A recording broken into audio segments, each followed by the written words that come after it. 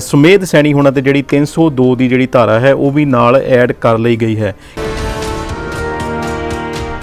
ਉਹਨਾਂ ਨੇ ਕਾਨੂੰਨੀ ਧਾਰਾ ਤਹਿਤ ਜੱਜ ਕੋਲ ਆਪਣੇ ਬਿਆਨ ਦਰਜ ਕਰਾ ਦਿੱਤੇ ਆ ਵੀ ਉਸ ਦਿਨ ਕੀ ਵਾਪਰਿਆ। ਉਹ- ਉਹਨਾਂ ਨੇ ਦੱਸਿਆ ਵੀ ਬਲਵੰਤ ਸਿੰਘ ਮੁਲਤਾਨੀ ਨੂੰ ਉਹਦੇ ਘਰ ਤੋਂ ਚੁੱਕਿਆ ਗਿਆ ਇੰਨੇ ਵਜੇ ਚੁੱਕਿਆ ਉੱਥੋਂ ਚੁੱਕ ਕੇ ਇੱਥੇ ਲਿਆਂਦਾ ਗਿਆ। ਉਹ ਸਾਰਾ ਉਹਨਾਂ ਨੇ ਮੰਨ ਲਿਆ ਹੋਇਆ। ਹਾਂਜੀ ਹਾਂਜੀ ਸਾਰਾ ਅਦਾਲਤ ਨੂੰ ਦੱਸ ਦਿੱਤਾ। ਉਹਨਾਂ ਨੇ ਦੱਸਿਆ ਵੀ ਸਾਰਾ ਕੁਝ ਐਸਐਸਪੀ ਸੁਮੇਧ ਸਿੰਘ ਸੈਣੀ ਦੇ ਹੁਕਮਾਂ ਤੇ ਹੋਇਆ। ਇੰਨੀਆਂ ਧਾਰਾਵਾਂ ਲੱਗਣ ਦੇ ਬਾਵਜੂਦ ਵੀ ਬੰਦੇ ਬਾਹਰ ਆ, ਹਲੇ ਅਰੈਸਟ ਨਹੀਂ ਪੈ ਔਰ ਰਿਹਾ। 3 ਦਿਨ ਦਾ ਉਹਨਾਂ ਨੇ ਟਾਈਮ ਵੀ ਦਿੱਤਾ। ਵੀ ਇਹ ਇਹ ਕੀ ਲਾਅ ਹੋਇਆ? 302 ਦੀ ਧਾਰਾ ਦਾ ਕੇਸ ਆ ਔਰ ਇੱਕ ਤਿੰਨ ਬੰਦੇ ਨੇ ਭੱਠੀ ਵਿੱਚ ਜਾਲ ਕੇ ਮਾਰੇ ਨੇ ਆਪਣੇ ਰਿਸ਼ਤੇਦਾਰ ਮਾਰੇ ਨੇ। ਉਹਦਾ ਕੇਸ ਦਿੱਲੀ ਵਿੱਚ ਚੱਲ ਰਿਹਾ। ਹੈ even then he is the most protected police officer of India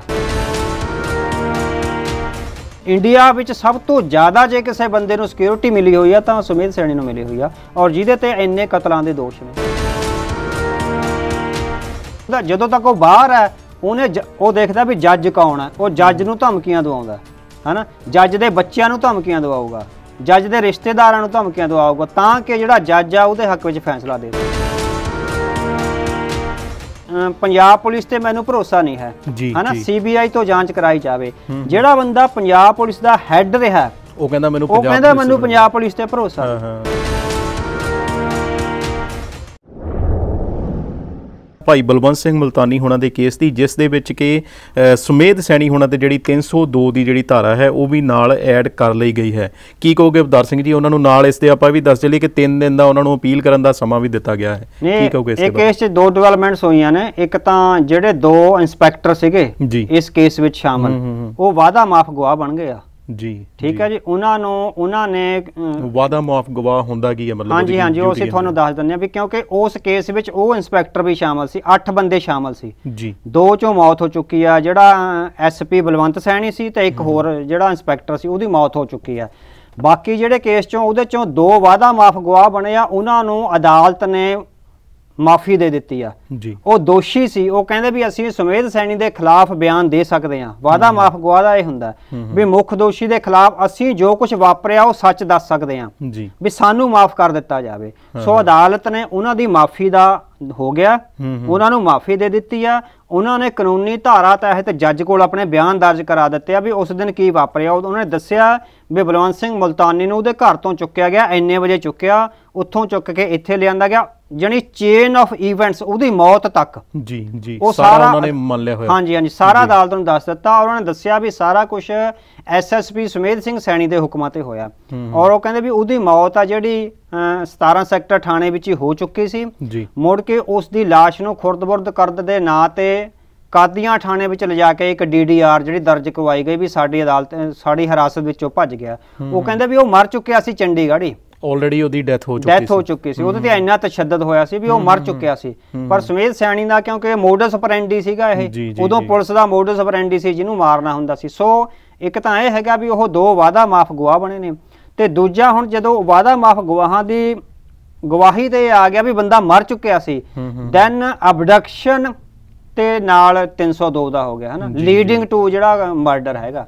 ਪਰ ਹੁਣ ਤੁਸੀਂ ਵੱਡਾ ਗੱਲ ਦੇਖੋ ਵੀ ਇੰਨੀਆਂ ਧਾਰਾਵਾਂ ਲੱਗਣ ਦੇ ਬਾਵਜੂਦ ਵੀ ਬੰਦੇ ਬਾਹਰ ਹਲੇ ਅਰੈਸਟ ਨਹੀਂ ਪੈ ਔਰ ਰਿਹਾ। 3 ਦਿਨ ਦਾ ਉਹਨਾਂ ਨੇ ਟਾਈਮ ਵੀ ਦਿੱਤਾ। ਵੀ ਇਹ ਇਹ ਕੀ ਲਾਅ ਹੋਇਆ? ਹਨਾ? ਉਹ ਜਦੋਂ ਤੱਕ ਉਹ ਬੰਦਾ ਅਰੈਸਟ ਨਹੀਂ ਹੁੰਦਾ ਹੂੰ, ਕੈਨ ਮੈਨੀਪੂਲੇਟ ਦੀ ਸਿਸਟਮ ਜੀ। ਹਨਾ? He is a very strong man ਤੁਸੀਂ ਦੇਖੋ ਵੀ ਜਿਹਦੇ ਬੰਦੇ ਤੇ 302 ਦੀ ਧਾਰਾ ਦਾ ਕੇਸ ਆ ਔਰ ਇੱਕ ਤਿੰਨ ਬੰਦੇ ਨੇ ਭੱਠੀ ਵਿੱਚ ਜਾਲ ਕੇ ਮਾਰੇ ਨੇ ਆਪਣੇ ਰਿਸ਼ਤੇਦਾਰ ਮਾਰੇ ਨੇ।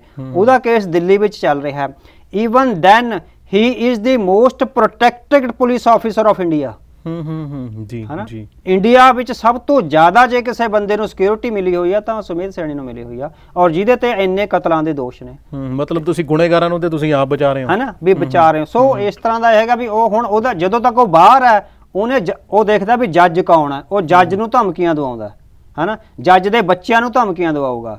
ਜੱਜ ਦੇ ਰਿਸ਼ਤੇਦਾਰਾਂ ਨੂੰ ਧਮਕੀਆਂ ਦਵਾਊਗਾ ਤਾਂ ਕਿ ਜਿਹੜਾ ਜੱਜ ਆ ਉਹਦੇ ਹੱਕ ਵਿੱਚ ਫੈਸਲਾ ਦੇ ਸਕੇ। ਉਹ ਐਦਾਂ ਮੈਨੀਪੂਲੇਟ ਕਰਦਾ ਸਿਸਟਮ ਨੂੰ। ਹੁਣ ਤੁਸੀਂ ਇੱਕ ਬੰਦਾ ਦੇਖੋ ਇੱਕ ਬੰਦਾ ਹੁਣ ਇਹ ਕਹਿ ਰਿਹਾ ਉਹ ਵੀ ਪੰਜਾਬ ਪੁਲਿਸ ਤੇ ਮੈਨੂੰ ਭਰੋਸਾ ਨਹੀਂ ਹੈ।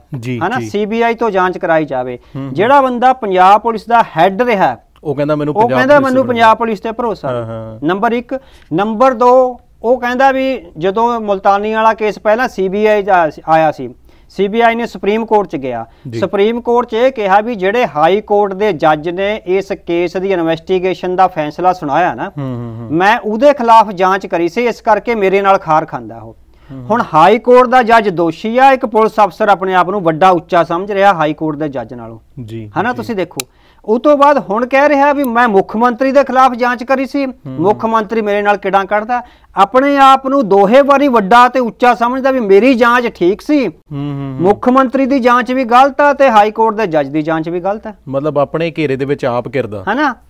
ਤੇ ਅਵਤਾਰ ਸਿੰਘ ਜੀ ਸਵਾਲ ਸਵਾਲ ਇੱਥੇ ਉੱਠਦਾ ਕੀ ਸੁਮੇਧ ਸੈਣੀ ਨੂੰ ਸਜ਼ਾ ਹੋਵੇਗੀ ਕੀ ਮਤਲਬ ਵੱਡਾ ਸਵਾਲ ਇਹ ਹੈ ਕਿ ਉਹ ਜਾਏਗਾ ਸਲਾਖਾਂ ਦੇ ਅੰਦਰ ਜਾਂ ਨਹੀਂ? ਜਾਣੀ ਜਿਸ ਜਿਸ ਕਿਸਮ ਨਾਲ ਮੈਂ ਇੱਕ ਜਰਨਲਿਸਟ ਦੇ ਤੌਰ ਤੇ ਨਾ ਸਾਰੇ ਕੇਸਾਂ ਨੂੰ ਦੇਖਿਆ ਬਹੁਤ ਘੱਟ ਉਮੀਦਾਂ ਨੇ ਵੀ ਉਹਨੂੰ ਉਹਨੂੰ ਜੇਲ੍ਹ ਹੋਏਗੀ। ਹੂੰ ਹੂੰ। ਤੇ ਅਗਲੇ ਦਿਨਾਂ 'ਚ ਉਹ ਹਾਈ ਕੋਰਟ 'ਚ ਰਿਟ ਪਾਊਗਾ। ਹੂੰ ਹੂੰ। ਉਹਦੇ 'ਚੋਂ ਇੱਕਦਮ ਉਹਦੀ ਹੋਊਗੀ ਵੀ ਪੰਜਾਬ ਤੋਂ ਬਾਹਰ ਕੇਸ ਤਬਦੀਲ ਕੀਤਾ ਜਾਵੇ।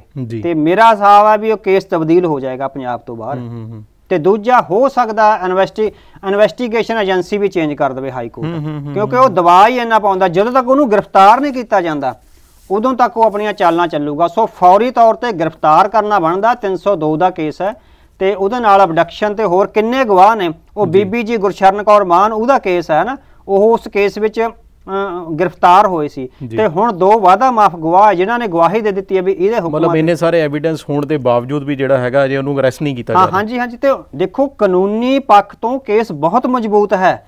ਪਰ ਪੋਲੀਟੀਕਲੀ ਸਾਰੀ ਮੈਨੀਪੂਲੇਸ਼ਨ ਹੋ ਰਹੀ ਹੈਗੀ ਵੀ। ਉਹਨੂੰ ਬਚਾਇਆ ਜਾ ਰਿਹਾ ਹੈ। ਹੈਨਾ? ਸਾਰੇ ਸਾਰੇ ਕਾਨੂੰਨ ਨੂੰ ਪਰੇ ਕਰਕੇ ਇੱਕਦਮ ਉਹਦੀ ਗ੍ਰਿਫਤਾਰੀ ਹੋਣੀ ਬਣਦੀ ਹੂੰ, ਉਹ ਤੋਂ ਬਾਅਦ ਕਿਉਂਕਿ ਉਹ ਅੰਦਰ ਬੈਠੇ ਤੇ ਉਹ ਉਹ ਮੈਨੀਪੂਲੇਟ ਕਰਨਾ ਬੰਦ ਕਰੇ। ਜੀ। ਉਹ ਤੋਂ ਬਾਅਦ ਗੱਲ ਹੋਊਗੀ ਨਹੀਂ ਮੇਰੇ ਹਿਸਾਬ ਨਾਲ ਸਜ਼ਾ ਨਹੀਂ ਹੋਣ ਲੱਗੀ ਉਹ।